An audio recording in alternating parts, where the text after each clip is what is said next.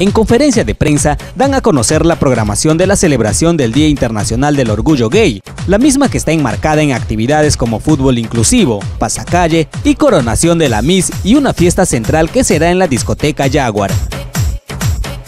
Se detalló que hoy miércoles en horas de la noche se inicia la competencia de fútbol, el 27 de junio el pasacalle y la fiesta será el día central de celebración que es el 28 de junio. Estamos este, trabajando articuladamente con la comunidad, apoyando en actividades deportivas, eh, culturales y sobre todo ellos tienen unas diferentes actividades de las cuales la Municipal Distrital de Yarinacocha está sumándose a este evento, eh, a este evento en las cuales nosotros estamos participando y colaborando y apoyándoles a ellos sobre todo este, en esas gestiones que se vienen para las actividades de San Juan, que también ellos no son ajenos y se suman a esta, eh, a esta celebración tan importante de la Amazonía. Se destacó que estas celebraciones por el Día del Orgullo Gay se une la municipalidad de Yarinacocha, así como otras municipalidades y el gobierno regional. Es una fecha que, eh, como ya se ha mencionado anteriormente, ¿no?